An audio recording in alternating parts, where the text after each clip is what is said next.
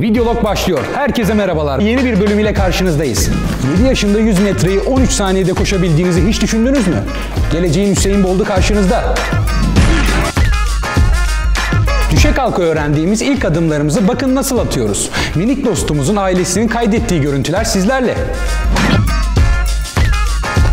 Çocuklarımız için her şeyi yapabileceğimizi biliyoruz. Bir babanın kızının eğitimi için yaptıkları şimdi ekranlarımızda. Ben Buğra Can Pazarlı. Çarşamba günleri sizlerleyim.